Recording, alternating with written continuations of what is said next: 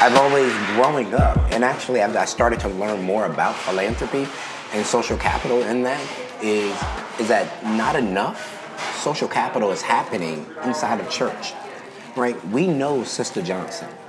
You might sit on the same pew. You know everything about Sister Johnson, church profile. But mm-hmm. you don't know Sister Johnson might be a doctor or a lawyer, engineer.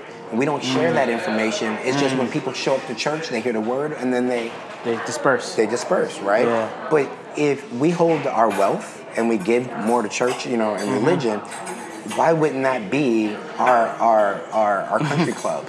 You know, sure. in, in the mindset, you know, why wouldn't that be our board of directors? You know, in the mindset of eh, that's your first place of networking. You do it every Sunday.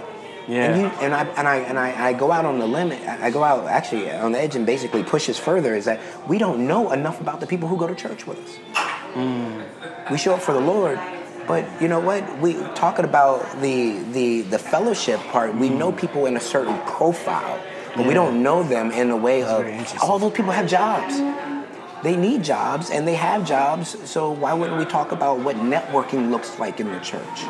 So I bet you in your perfect vision, like what does networking look like in the church? starts from church if you're gonna spend every Sunday there. And I know it, and it can't be, you know what I mean? Yeah. It's- eh, And people say, "Oh, that's the Lord." It's not.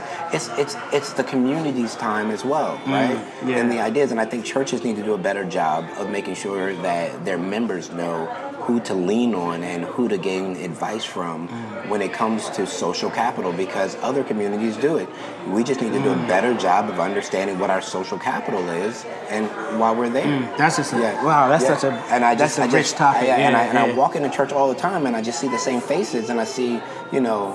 I know their, like I said, I know their worship profile, but I just don't know their profile. As when they leave, and you know, some of that is just there's not an environment for it.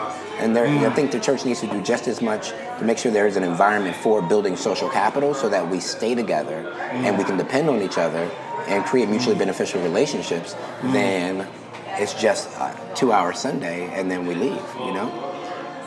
man. I, I, it's so I don't loaded. want no clergy coming after so me. loaded, Uh, but, I, but I wanted to. But yeah, no, I want that's no a real clergy. I want no clergy coming after me. That's I've always thought that it should be also because churches collect like black churches alone collect like Yeah. upwards of thirty billion dollars annually, right? What if they all deposited in the same bank? This, listen, this, What if all the churches in that area said, you know what, we're going to make all our deposits every Sunday to one bank, One bank. black owned.